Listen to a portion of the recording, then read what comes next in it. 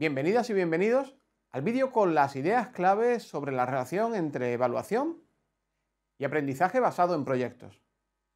Aprender y enseñar son en sí mismas actividades complejas y nos preguntamos si tendría mucho sentido hacer un esfuerzo tan grande por enseñar y aprender sin valorar si hemos tenido éxito o no.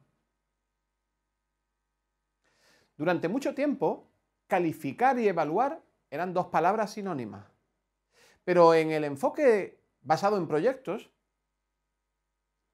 un planteamiento de evaluación transformativa tiene mucho más sentido. Evaluamos para tomar decisiones que nos permiten modificar nuestra práctica, modificar las prácticas de aprendizaje de nuestros estudiantes o el contexto. Y el aprendizaje basado en, proyectos permite obtener evidencias tanto del desarrollo del proyecto como de sus resultados. En este sentido, es interesante que contemplemos la alineación de los tres elementos curriculares fundamentales, objetivos y competencias, secuencia didáctica y evaluación.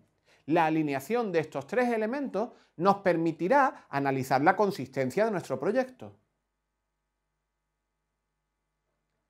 Así, por ejemplo, en un proyecto que consistiera en la creación de un terrario, podríamos contemplar una serie de elementos para tomar datos, como un control de datos cooperativo al comienzo del proyecto, para saber si todos los estudiantes están en línea con lo que estamos haciendo, la evaluación del producto en sí mismo, del terrario, la observación de los animales dentro del terrario, la evaluación del informe final o incluso la valoración de la difusión y la revisión de todos los elementos que contiene el proyecto.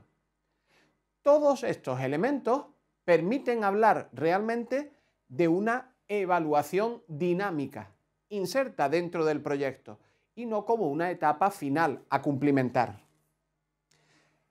Dos elementos fundamentales además en la evaluación en el enfoque basado en proyectos son la evaluación inicial y la autoevaluación.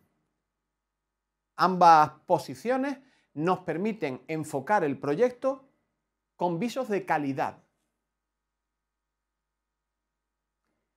Asimismo, la evaluación inicial nos permite saber si partimos de un lugar y vamos a llegar con los resultados de aprendizaje a otro lugar interesante. La autoevaluación es realmente la actividad que permite al estudiante ser consciente de si ha alcanzado las metas deseadas y también de cómo ha llegado a ese lugar. La autoevaluación en nuestro sistema ha estado con frecuencia olvidada y sin embargo, en el aprendizaje basado en proyectos, insistimos en que se debe recuperar para hacer del, para hacer del estudiante un elemento activo, un agente activo de su propio aprendizaje. Los dos principios para diseñar una evaluación de calidad son que ésta debe ser justa y eficaz. Y para ello el mejor consejo es tener una variedad de mecanismos de recogida de datos y no centrar la evaluación en un examen final o en un único planteamiento dentro del proyecto. Esto implica necesariamente que nos replanteemos cuál es el valor del examen escrito.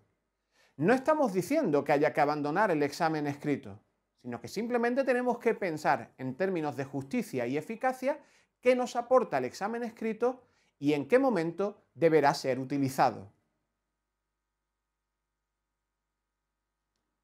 Y por supuesto, tenemos que valorar que hay una gran variedad de elementos que nos permiten hacer una evaluación alternativa, menos invasiva que el examen, que pueda acompañar el proyecto en su desarrollo.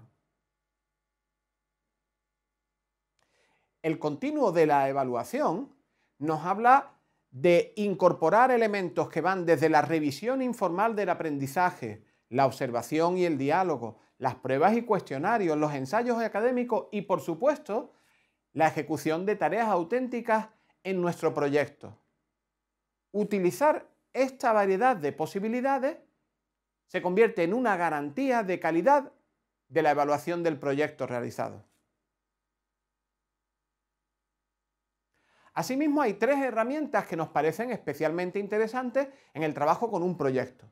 La primera de ellas es el diario de aprendizaje, que pertenece al estudiante y le permite reflexionar sobre su propio camino y sobre las estrategias que ha utilizado para llevar el proyecto a buen término.